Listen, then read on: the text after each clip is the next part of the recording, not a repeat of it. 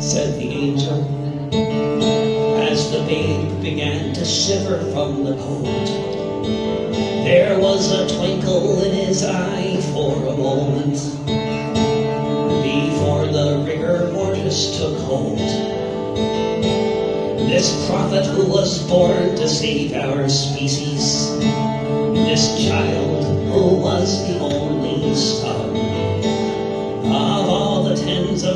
thousands killed so far.